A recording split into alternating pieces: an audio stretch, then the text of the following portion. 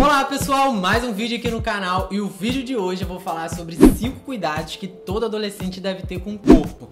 Essa é uma idade que muita coisa vai mudando, muita coisa vai acontecendo e aí existem alguns cuidados que você tem que tomar com o seu corpo ou começar a ter esses cuidados, né, a partir dessa idade. Coisas que você não tinha antes ou coisas que alguém cuidava para você, mas a partir de agora, né, você tem que começar a cuidar, beleza? Então se você é novo aqui no canal, Curte o vídeo, se inscreve no canal se você tem aí um primo, um amigo, alguém que é adolescente, chegou nessa idade, um filho, um sobrinho, você já pega esse vídeo e manda pra ele, beleza? Primeira coisa é você achar o desodorante que funciona pra você. É o seguinte, essa é uma idade que os hormônios estão a todo vapor e com isso acaba que o suor fica com cheiro mais forte. E aí você precisa encontrar o desodorante que vai funcionar com você. Existem vários tipos de desodorante. Tem desodorante aerosol, tem desodorante com cheiro, sem cheiro, tem o que é em pomada, enfim. Você tem que encontrar o que vai funcionar com você. De repente o que você está usando do seu pai, enfim, pode ser que ele não esteja funcionando para você. Então você precisa ficar atento para ver se você tá ficando com cheiro ruim ou não. E aí na dúvida se, né, ele tá funcionando, se você tá ficando com cheiro ruim ou não, cara, na dúvida, pergunta alguém. Não tem problema nenhum você chegar para alguém e perguntar. De repente, Claro, você não vai perguntar para qualquer pessoa, tipo, ah, cara, tô fedendo. Não, você não vai fazer isso. Mas aí você pode perguntar pra sua mãe, pro seu pai, pro seu tio, alguém próximo seu. E aí você pergunta. E, cara, pensa pelo seguinte, pela seguinte ótica.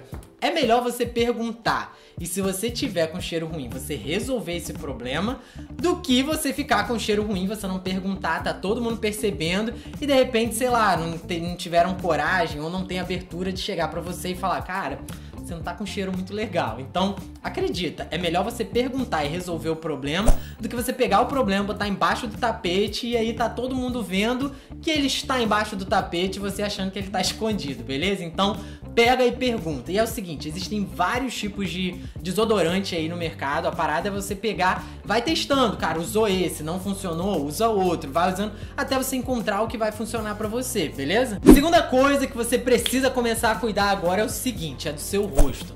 Por conta, gente, tudo é culpa do hormônio, tá?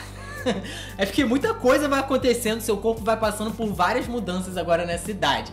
E aí, uma das causas, né, do lance do hormônio lá é a sua pele do rosto, acaba ficando muito oleosa. E às vezes a pele muito oleosa pode dar espinha. E aí, para isso, você tem que começar a cuidar da sua pele. Então, vamos lá, você, come... você já tá nessa idade, você já é adolescente, não espera dar ruim, você já começa a cuidar antes que dê o problema. E aí, como que você cuida?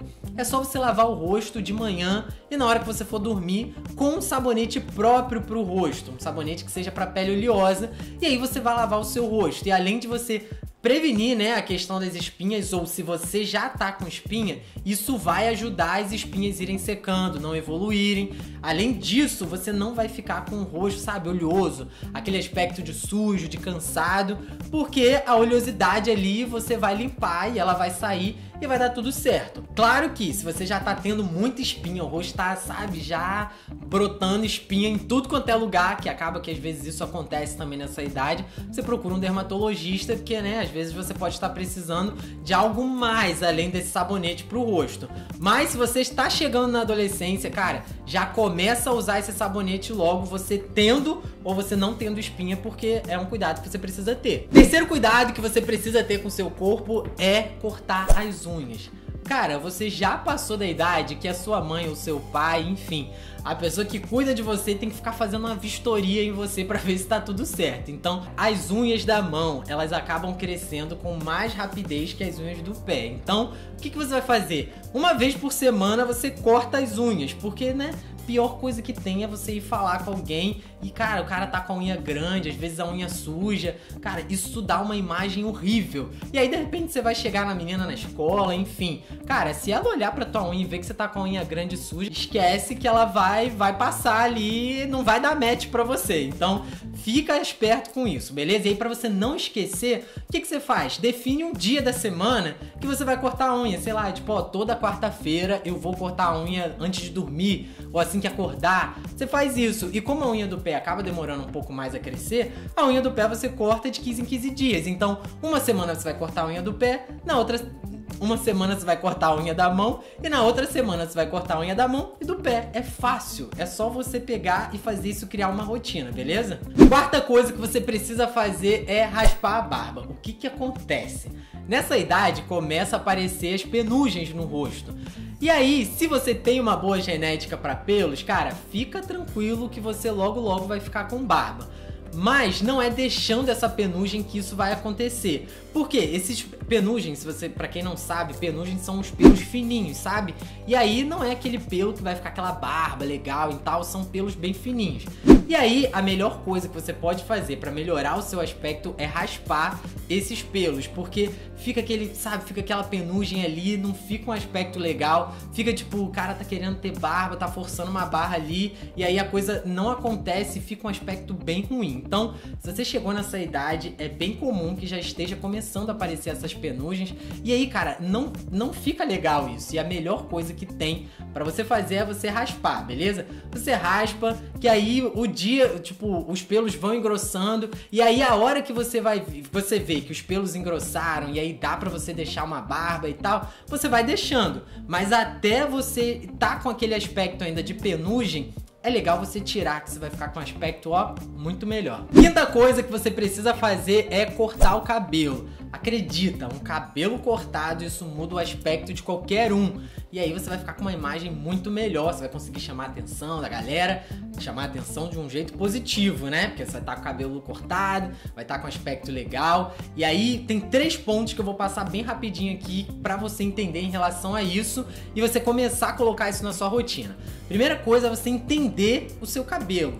Você entender qual o estilo dele, você entender ele é liso, ele é enrolado, ele é ondulado, qual é a identidade ali do seu cabelo, beleza? Segundo é você definir o corte do seu cabelo. E aí você vai definir o corte de acordo com a característica do seu cabelo. Não adianta você ter um cabelo liso e querer ter um black power. Você não vai conseguir ter um black power se você tem um cabelo liso lambido.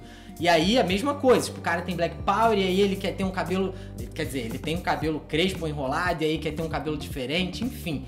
Cara, existem várias coisas que você pode fazer para mudar aí a característica do seu cabelo, não tem problema nenhum você fazer nenhum tipo de procedimento aí. Só que você precisa entender ou para fazer o procedimento, para você ter o corte que você quer. De repente você tem um cabelo ondulado, você quer um cabelo liso, então sei lá, você vai fazer um tipo de alisamento, um botox, enfim. E aí você precisa fazer isso antes de querer deixar o cabelo crescer, porque senão você fica forçando usar o cabelo de um corte que a característica dele não é essa, beleza? Então, você chegou, entendeu a característica do seu cabelo, depois você define o corte de acordo com a característica, o corte, o tratamento, ou só o corte, se você vai usar ele do natural, do jeito que ele é, você vai usar ele assim, você define qual é o corte. E aí depois você precisa manter esse corte.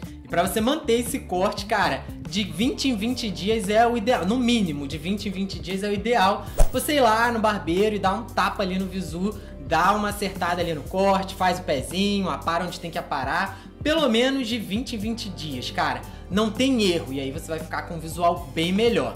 Cara, seguindo essas cinco dicas que eu falei aqui, você pode ter certeza que você vai chamar muito mais atenção positivamente, além de você se sentir melhor com você mesmo, porque você vai estar tá projetando uma imagem, sabe, muito melhor, você vai estar tá bem cuidado, com uma higiene em dia, beleza? Me diz aqui nos comentários se você não fazia alguma dessas coisas, se você já faz essas coisas, se você tem algum amigo ali, tipo, cara, eu tenho um amigo que tá precisando mudar o desodorante, mas o cara não, tá, não, não se ligou. Ou você tem um amigo que precisa cortar o cabelo. Galera, vamos trocar essa ideia aqui nos comentários, beleza? Não esquece de você compartilhar. A melhor coisa que você pode fazer para ajudar o seu amigo, seu filho, seu sobrinho, é você pegar esse vídeo aqui e mandar para ele que de repente que você não tá tendo coragem de falar, eu acabei falando aqui.